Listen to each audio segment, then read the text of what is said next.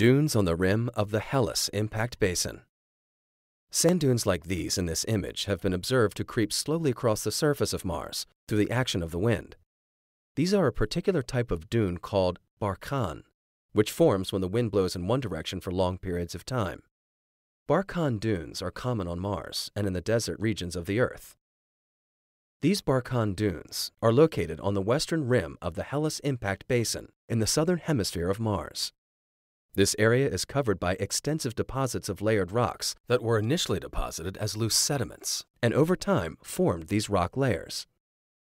Portions of these layered rocks were subsequently eroded away, and the remaining layers now form numerous flat-topped hills called mesas. The Barchan dunes are forming in the lee or downwind of the mesas. Careful comparison of repeat images like this one can reveal the speed and manner by which dunes move across the Martian surface. This information can be used to study the current atmosphere of Mars, the age and mobility of sand deposits on the planet's surface, and the hazards that sand dunes may pose to landed vehicles, such as rovers.